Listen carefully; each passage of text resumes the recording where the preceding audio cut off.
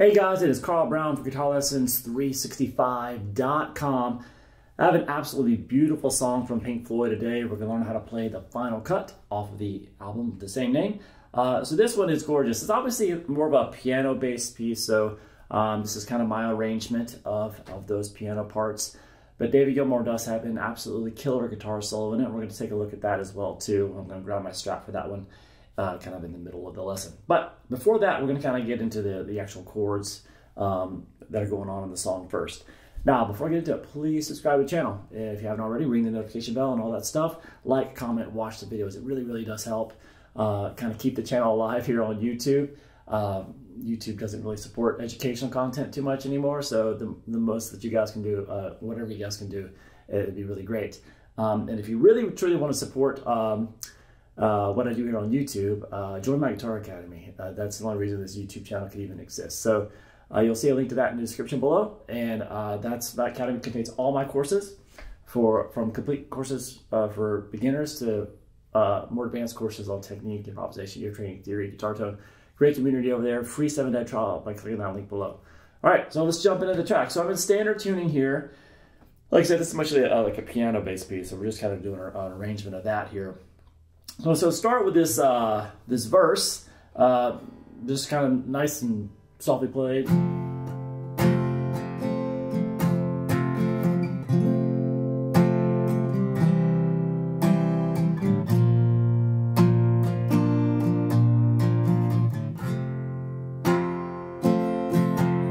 Does that progression twice. So we're going to start out with just a standard F major bar chord. Um, so there's going to be a lot of bar chords in this song typically is the case when you have like piano-based music that you're trying to uh, translate to guitar. Uh, it's not always the easiest thing. So hopefully you've got those nailed. If you don't, go to my Guitar Academy. In the beginner course will get you uh, all fixed up in that department. Um, so we're going to start here with this F major bar. So it's a bar the first fret, second fret on the G, third fret on the D, and then um, third fret on the A.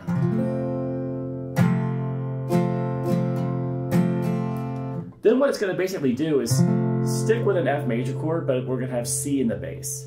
Um, so it kind of sounds the best when you just stick with the, those middle strings on the guitar. So what I'm doing here is I'm playing the third fret on the A string and the D, second fret on the G, first fret on the B. Shove that for a couple of beats, and then we're going to resolve that to a regular C major chord. So we have this four beats on the F, then the F with the C and the bass, two beats, two beats on the C. Then we're to go to a B flat major chord. Now you can play this like this, which there's some actual acoustic guitar strumming going on in the song, and it sounds like we're kind of playing this uh, version of it. Um, so you're getting that F here on the first fret of the high E string in there. So generally when you want to get that in there and it's actually not get muted out, you want to play it like this. So it's a bar from the high E string, um, first fret over to the fifth string, the A string. And in front of that, the third fret across the B, G, and the D. That's not the easiest thing. Some people like to just smash their... And as you probably saw me play it, I usually do that bar with my pinky. I don't know why, but um, so anyway, if you want this high note, this voicing, uh, this this way of playing it. Then we're going to go resolve that to four beats of that and then resolve to back to the F. Then go through those chords again.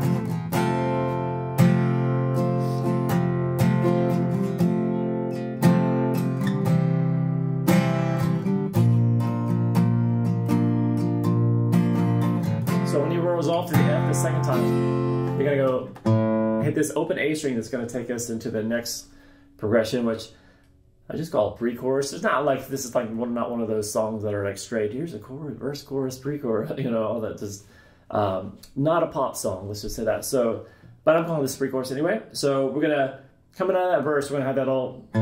So that at the end of the second uh, time through the riff, uh, the chords, we have this open A real quick, and then we're gonna go to this uh, progression.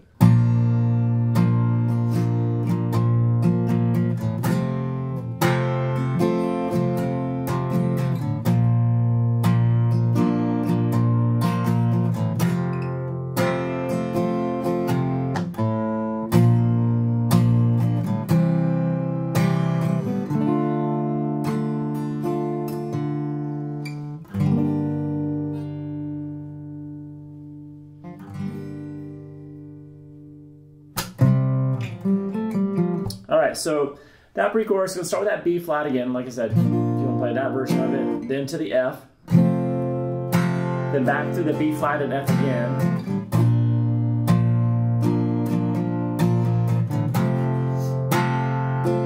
Then we're gonna go back to this B flat for the third time. So remember the first time going into the first time you hear the B flat in this pre-chorus as in a little open A string in front of it. Well, that's there on the third time through as well. So the first time, Then the second B flat to F is not there.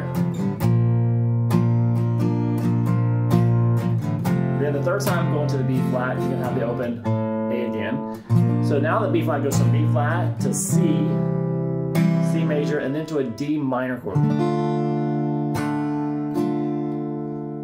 Now from there, we kind of just pause and we go over here and grab a G minor bar chord. So this is a full bar at the third fret.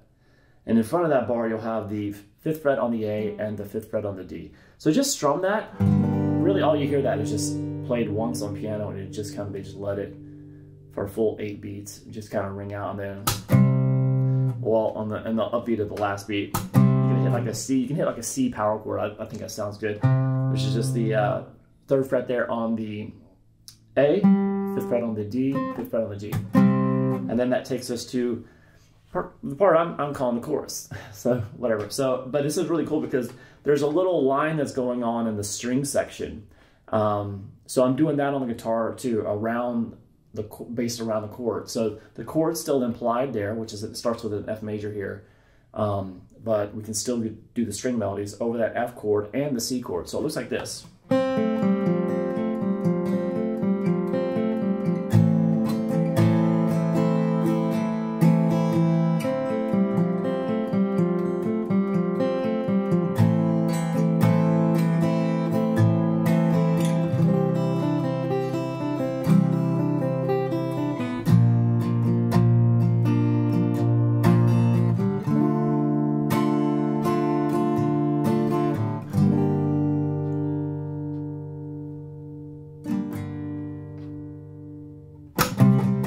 So it just kind of goes to that. See, kind of the same ending as the uh, pre-chorus. So what I'm doing for the, this, when I go, the vocals come in here on that A minor. So this, I'm playing, basically all you gotta do is play the first fret here on the um, B string, second fret on the G, and third fret on the D. So that enough will give us an F major chord. But what, I'm going to do here is I'm going to try to let the notes ring as much as possible. So I'm going to pick the, the note on the B string, then the note on the G string, and then pick the open G. So lift that finger up, and then pick the D string that I'm holding at the third fret. So it's those four. Kind of let them ring together. So when you repeat that, kind of sounds pretty cool. And from there we go to strumming an A minor chord back to that little arpeggiated thing on the F four times, and then back to A minor again. And then what we're to do is we're to go to a C major chord, so standard C major, but we're to try to do a little moving line on that. So you have that little moving line going on in the string section. So uh, it's pretty easy to play on guitar. So you just, you're to play the C major chord here, right? But then add you know, this top note, this G of the third fret on the high E string. So you'll pick, pick that first, then you're gonna lift up and play the open high E, and then play the third fret on the B, and then the first fret on the B, which you already have as part of the C. So we have, so what I've been doing is just kind of strum the chord, then start the melody, then play the melody again without the chord strum, and then strum, a melody without the strum. So, so, so far with this.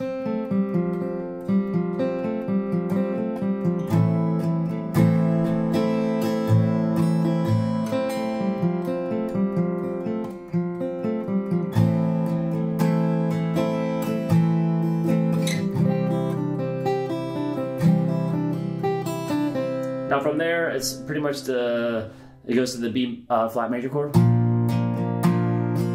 then straight to the D minor. And we're gonna end this one once again just kind of holding that G minor. and um, end it with that C power chord. That takes us to this next riff is kind of like a similar to uh, what happens at the the very ending of the song. Some really nice vocal harmonies here, and I just I call this like the transition riff, which just basically takes us back to repeat the song, the verse again. And it's basically all it is is this at this like this.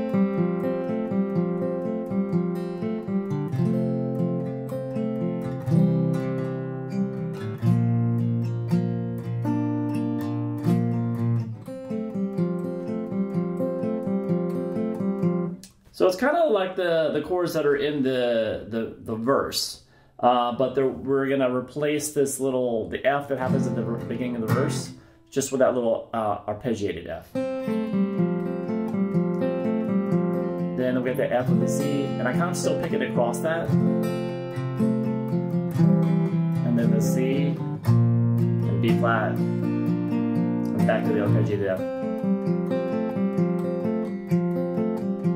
and that's that's when all the vocals are going on, the little vocal harmonies, and then we just get back to the verse, which is kind of the straight F that we did at the very beginning. So it just goes through the verse, the pre-chorus, and it again just nothing different there. Um, and then we have the guitar solo. Um, so the solo is actually over the chorus. Um, so I'm gonna so there's nothing new to, there to learn really for the for the chords. Uh, but I do need to grab my Strat and show you guys how to play the solo. It's a beautiful solo. David Gilmour never never misses. So uh, let's take a look at that right now.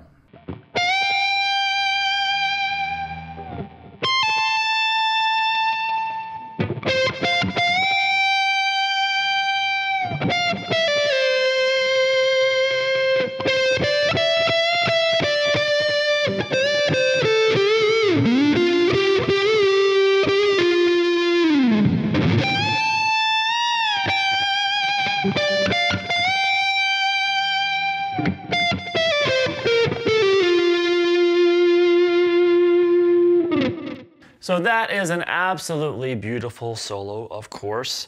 So uh, we're gonna start here. A lot of times, so he's letting a note sustain, he's gonna put some vibrato on it.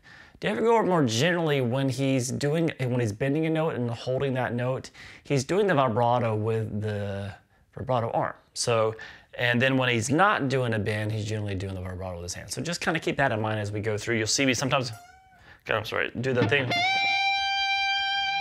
and I'm doing it with a vibrato arm. And then here, I'll do it with my fingers. So um, gonna, that's basically the general rule that I'm using there for, for the really David Gilmour solos. Is uh, this bit note, got vibrato on it, do it with the bar. Anyway, so we're gonna start here with this first phrase.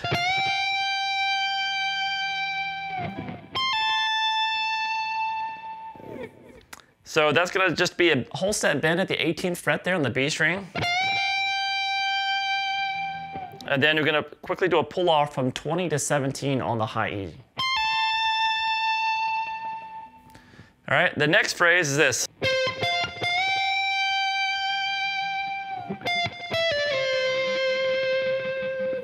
All right, so that's gonna be the 17th fret on the G string first, and then over to the 18th fret, and then you're gonna, on the B string, and then uh, bend up a whole step. And then, so that was just picking 18, and then pick uh, 17, pull off to 15, slide down to 13.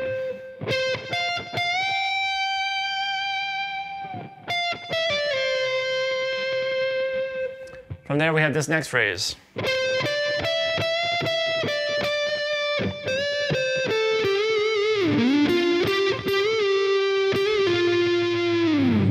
Right, so we're gonna start here with this.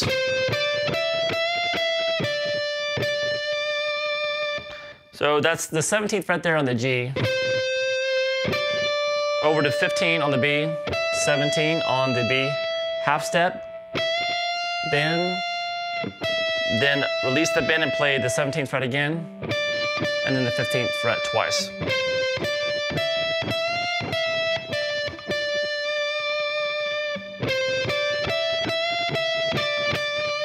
Come down here, we're gonna,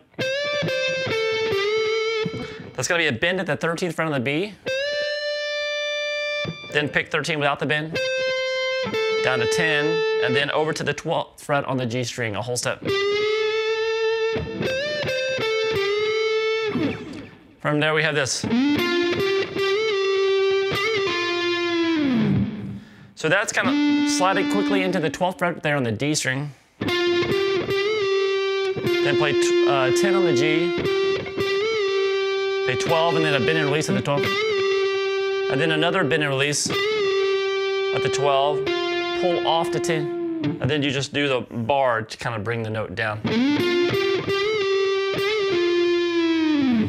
It's kind of a little bar dive on that 10th fret there. And then we're going to end it uh, right here with this.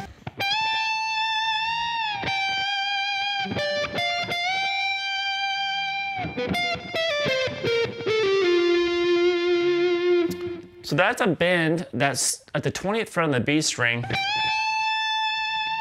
And then he bends it up another half step. And then release the whole bend down to just the 20th fret without a bend. Uh, sometimes hard to keep the note to sustain out there, like like whatever patch I'm using, sometimes that note will sustain and uh, all the way to the end. And sometimes it won't. If it does it, you can just kind of pick the note again when you get down to the G without the, um, I'm sorry, the 20th fret there without the, um, without the bend. So we, uh, kind of like this. Might kind of, he doesn't do that though. He, but his is kind of rings out. And then we have this. So that's going to be 15, 18 on the B string, and then into a bend it. And then this last little line. So that is 18 on the B, pull off 17 to 15 on the B, then play 17, 15 on the G. And then come down here, you're gonna pull off 14 to 12 on the G, and slide down to 10.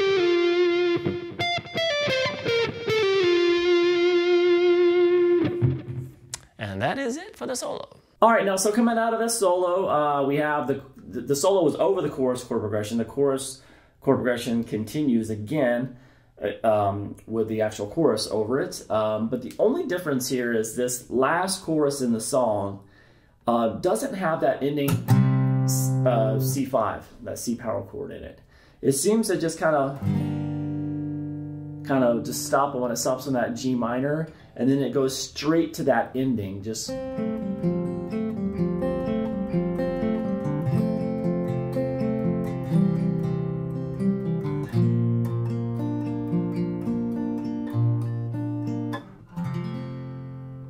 Uh, so that ending is pretty much the transition section that we did earlier, and that last step instead of doing it as an arp, uh, arpeggio based thing, just strum the F. But the first one is, so it's just like the transition riff. He's kind of just randomly picking across those. And then, and that is it. It is a beautiful track. Um, really, I think one of the last with Roger Waters, but um, I, really wish uh, we could see them play this live. I couldn't find any video of them playing it live. Maybe somebody else couldn't find it, but I couldn't find David Gilmour playing it live. So anyway, hope you guys enjoyed it. I'll see you again soon for GuitarLessons365.com.